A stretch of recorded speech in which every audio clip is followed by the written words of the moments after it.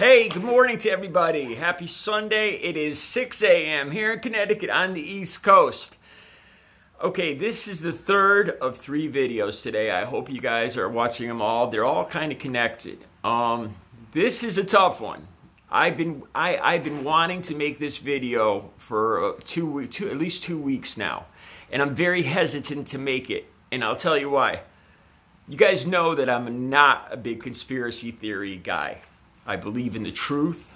Um, I believe a lot of conspiracy theories uh, and the, the, the, rise of conspiracy theories today are just people fearing um, the Dunning Kruger effect.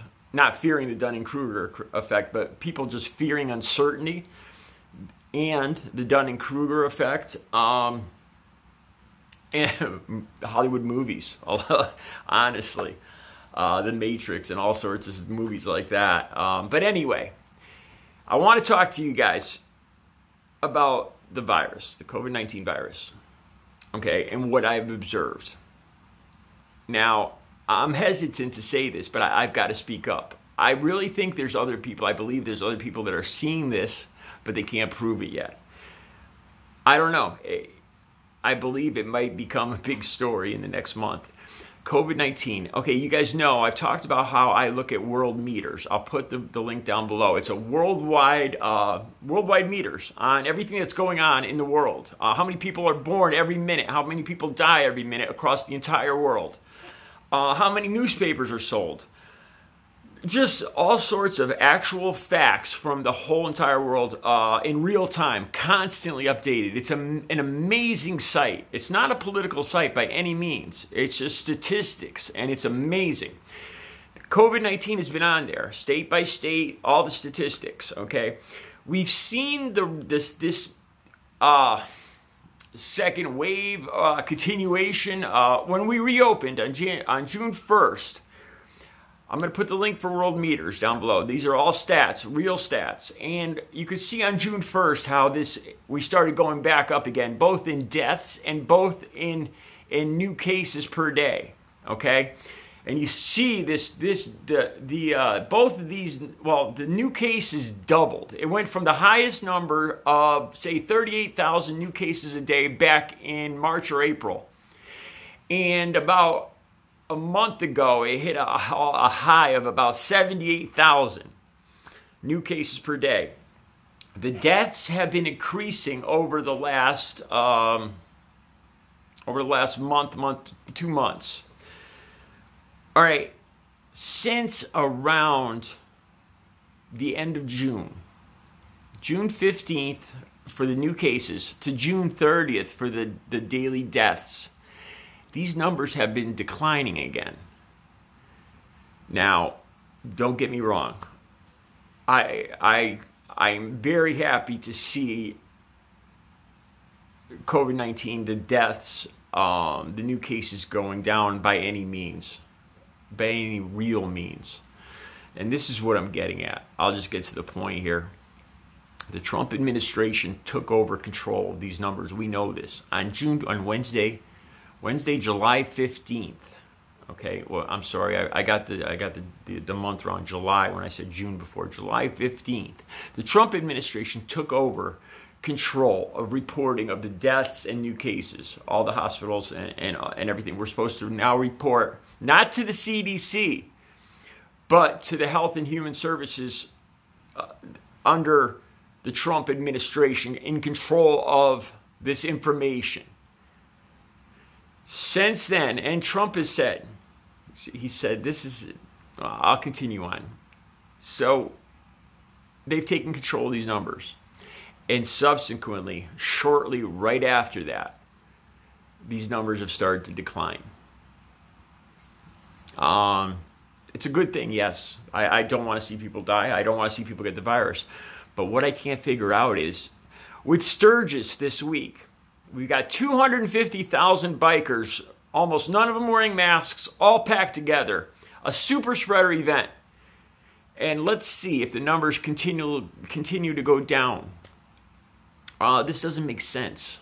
Uh, we have Dr. Fauci, Dr. Birx coming out talking about how the deaths could, could double and triple in the coming months. And we see the reports from Florida, from Texas. So there's no beds left. They're out of ICU beds and everything. The actual stuff happening in these right live in these particular areas, but for some reason, in world meters in other places, the numbers are going down. How can that be? Just when, just shortly after Trump took control, the Trump administration, Health and Human Services, took control of these numbers. We see these numbers going down now. Um, then, so so what what goes along with this? Uh, there's the the fact that Trump has continually said that someday this virus is just going to disappear. Uh, and he keeps repeating it. And he, and he, just the last thing he last time he said he said uh, sooner or later I'm going to be right. Just after him and his administration took control of all this information, the reporting of these deaths and new cases on July 15th, they did start to go down for no apparent reason. For no apparent reason whatsoever. I haven't seen one reason why this would be. Um, I, I don't think people are suddenly uh, paying attention and wearing masks and doing the right thing now in, the southern states and in the west, in the southwest, where these cases are prevalent. Um, not to the extent that we see the numbers drop all of a sudden right after July 15th, right after the Trump administration took control of these numbers. Okay, so do I have any proof, actual proof on this? No. It's just, I, I don't see any valid reason why these numbers have gone down over the last two or three weeks. I see the fact that Trump ins- insists that the numbers are wrong, that testing is, is, is showing to this insane claim that the testing is actually the testing, that if we didn't pay attention to the actual numbers, they'd go away.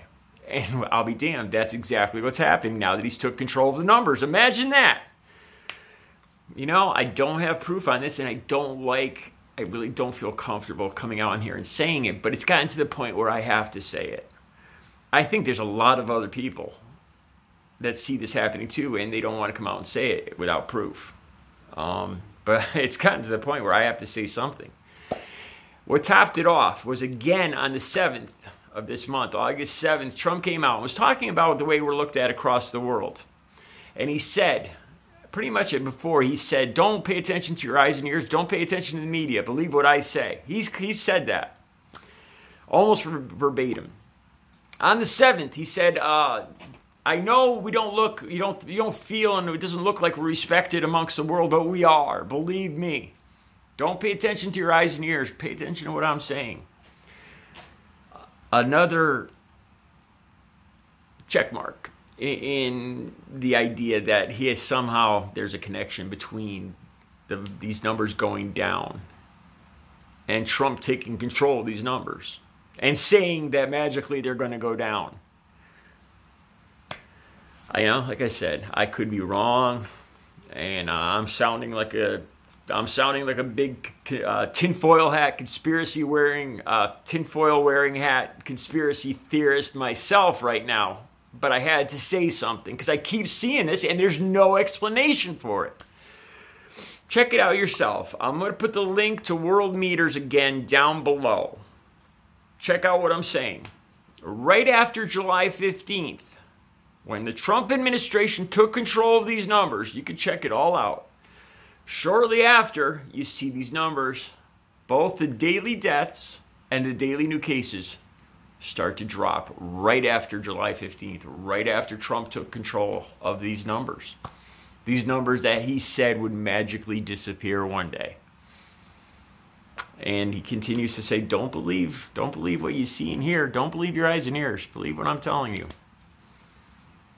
I hope it's not true. I do. I, I, I hope I'm wrong. Check it out yourself. There's the link to World Meters. Check it out below. You guys have a good Sunday.